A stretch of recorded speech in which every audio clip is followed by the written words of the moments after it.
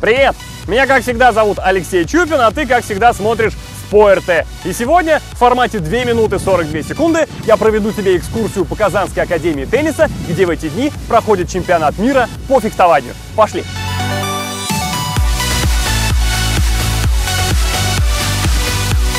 Ну, разумеется, как только вы вошли, вам нужны билеты. Тут мы сразу заворачиваем налево и идем, что логично, в билетную кассу.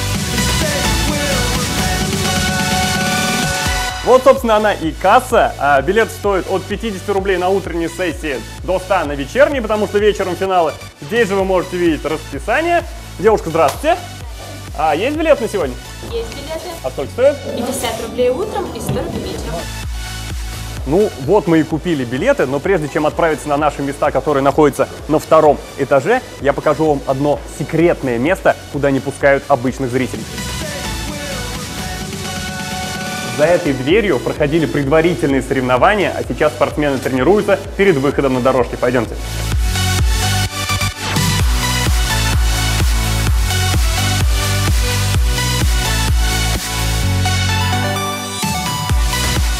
А вот еще одно интересное, но уже не секретное место, которое находится в холле Казанской академии тенниса. Здесь вы можете купить все, что вам нужно для фехтования. Так, например, маска стоит от 2500 до 7. Ну а если вам быту не очень понадобится маска для фехтования, то можете просто прийти и поглазеть. Ну и вот, наконец, поднявшись на второй этаж, мы попадаем на саму соревновательную арену, где, как всегда, на фехтовании очень темно и шумно, в самом центре арены расположены 9 фехтовальных дорожек, где и разыгрываются медали чемпионата мира. Ну и в завершении всего, спортивные боги были настолько к нам благосклонны, что пустили нас в святая святых, комнату, где хранятся медали будущих чемпионов мира.